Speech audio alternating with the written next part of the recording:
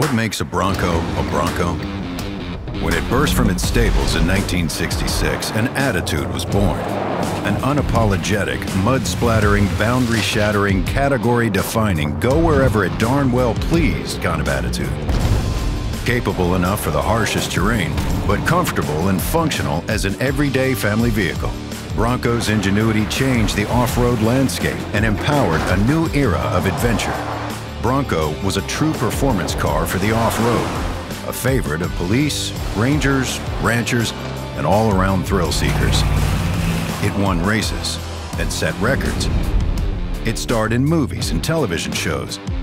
It became a symbol of freedom, a pop culture icon.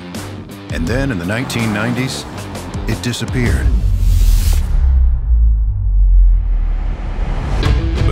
Bronco production may have stopped, it was never forgotten. You can't discontinue an attitude.